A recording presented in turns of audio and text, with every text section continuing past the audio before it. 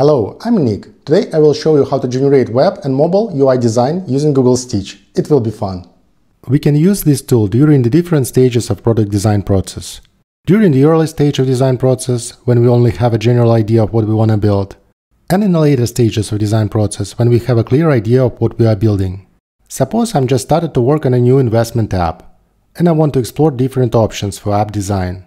So I will write a prompt, home screen of investment app, and it will be a mobile app. Stitch analyzes my prompt and decides to use green color scheme for my design. Green is a color of money. We got this design, which looks like an average investment app. It looks fine for initial exploration, but nothing really special. This design is not interactive. And despite that I asked the tool to generate a home screen, for some reason the tool highlights the Portfolio tab. Let's quickly change the visual style of the screen. To do that, I will click on the theme icon. And I can change visual attributes of the design, such as color scheme, corner radius, fonts, and even visual appearance. Let's change the color to blue, set corner radius to more squarish, and select light appearance.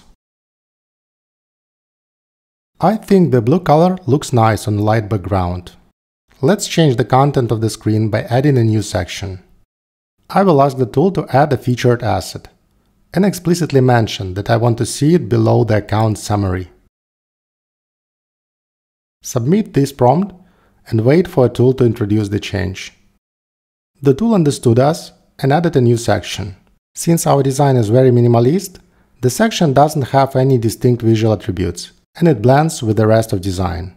Now let's create another example. And to do that, I will open Stitch in a new tab. For the second example, I will use a very detailed prompt and give AI clear instructions on what I want to see. I use a specific format for my prompt to help AI generate practical, usable and nicely composed UI. The prompt has five sections. Context. I start with a clear one-liner that defines what I'm designing. This helps AI to understand the purpose and the scope of the screen before diving into visuals. Then I move to description. Explain what matters most.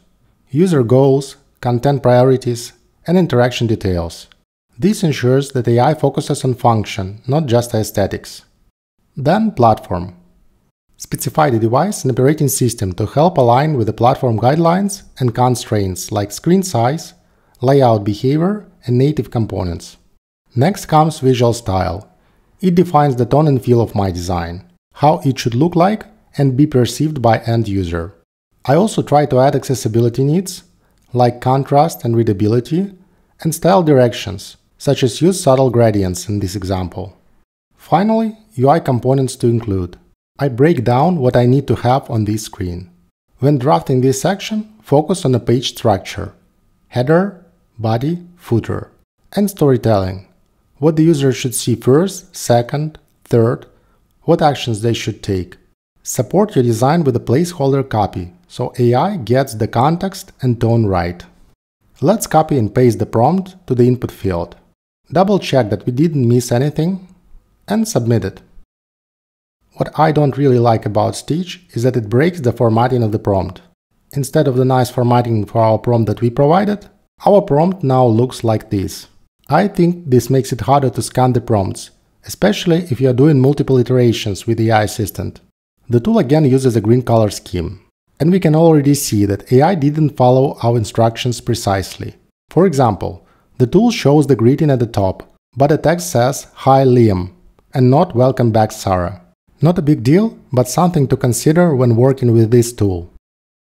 As for UI, again, it's nothing really special. Industry standard. What I don't really like is that this design doesn't highlight important content. When you scroll the screen, your eyes won't be attracted to a particular content. Now it's time to mention one important feature that Stitch offers – export to Figma. When we click Figma, Stitch will create a copy of this design. We can jump to Figma and paste our design onto the canvas. And the nice thing about this design is that it has an auto layout. All sections are created with a layout. While in general this design is okay, there are some things that bother me, and one is nesting elements. For example, an icon in the tab bar is at a level 5 depth. This makes this design a bit more complex in terms of hierarchy of elements than it should be. Now let's jump back to Stitch and write a follow-up prompt. Let's see how good the tool is at creating consistent design. I don't want to provide very detailed instruction this time. Let's see what we will get. The search screen looks fine. It was created using the visual and functional style of a home screen. Stitch uses relevant categories for the investment tab. But the bottom tab bar doesn't look right. It uses icons with labels and wrong options. Let's fix it. Type a follow-up prompt. Update the bottom tab bar, referencing the previously generated design. Now we don't have labels, which is good, but the navigation options are still incorrect. To fix this, we can either submit another follow-up prompt or copy and paste this design to Figma and fix it there. I will follow the second approach. When copying design from Stitch to Figma, the tool sometimes introduces minor issues. Such as in this case, you can see that the placeholder text is not aligned properly. Many times, we can easily fix such issues with one or two clicks. At this point, we have two screens for our app, and with minor tweaks, they will work fine for our task. Let's return to the Stitch.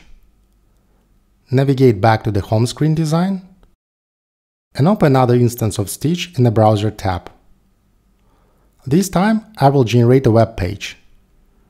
Switch to Web and type Design landing page that promotes an investment app for iOS. Again, a green color scheme is used for our design. Green means growth. And once again, the design that Stitch generates is very generic. It looks okay, but it's not something I personally would use. Let's submit a follow-up prompt, asking the tool to change the style to minimalist. Ask to include abstract illustrations in Kandinsky style. Stitch starts to work on our request. And for some reason, it updates the visual theme from green to blue. I didn't ask to do it. The image in hero section is indeed in Kandinsky style, but the rest of design is pretty much the same, which is sad. Let's change the color to green, since green is the primary color of our app, and we want to make our web design look consistent with mobile app design. Quite interesting is that Stitch offers light green and not dark green. But this is, I believe, is because this is a new project for Stitch. Copy Figma ready design and paste it onto the Figma canvas. Just like a design for mobile, a design for web also has an auto layout. And we can quickly change the visual style of elements like buttons. Select object and change its color. Sadly, we don't have variables in design generated by Stitch. It means that we need to change the color values one by one. Quite funny, the design has a copyright dated to 2024, and I'm recording this in 2025. But nevertheless, we have two designs, mobile app and web page for our product, that we created in less than 10 minutes. Jump back to Stitch, and we can visually compare our designs side by side. This is a benefit of keeping designs in separate tabs in a browser and I will let you decide whether designs generated by this AI tool is good enough to replace designs created by human designers or not. That was my experience using Google Stitch for UI design. Have you used AI tools in your design process? Please share your experience in the comments. Thank you.